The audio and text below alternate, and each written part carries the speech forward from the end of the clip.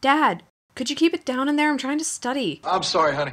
All right, Snowball, we're gonna take five, but when I get back, I'm teaching you wanna be your Joe. Robby rocks. And don't you forget it.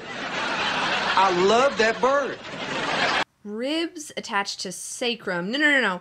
Sternum, which attaches to a bone that ends in illa or or uno or Oprah.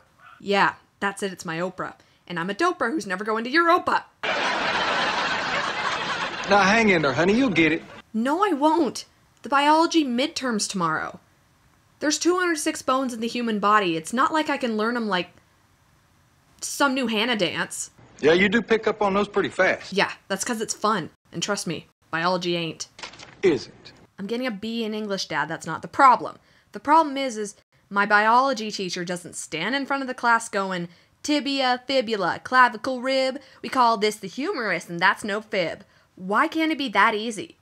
That's a good question. I thought of it first. No, you didn't.